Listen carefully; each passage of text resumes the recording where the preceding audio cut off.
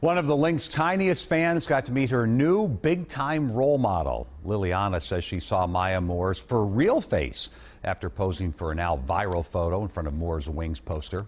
Christiane Cordero shows us the day that will likely stick with Liliana forever, even if she doesn't remember. When four-year-old Liliana Sekakani met the person behind the poster, she couldn't quite find the right words. Screamed. You screamed. Why did you scream? Because I wanted to meet her. And then she did. In the picture, you had the medal. What did I look like? Like that. Like Her dad, Justice, took the photo that he says almost didn't happen. They were walking to a Twins game when Liliana started asking questions, all kinds of questions. We ended up getting to a point where she, she, uh, I was telling her men play basketball on TV. And she says, Well, do girls get to play basketball on TV? And I said, Absolutely.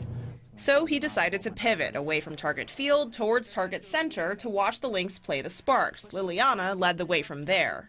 I could see the pulsar off in the distance. And then she looks back at me and says, Daddy, I can do that. So she did, and when she met Maya Moore in person, Liliana learned she can do this too. Liliana, you're a pro. Remember that? And then you said you wanted the ball. Come on, get out on the court with me. Come I on. just hold it. I want it. There you go. Easy. Moore taught her the fundamental stuff the passing, the shooting, and the intangibles, like learning how to fly with your own wings. I wanted to play basketball. So you think you want to play basketball now? Yeah. Just like Maya? Yeah.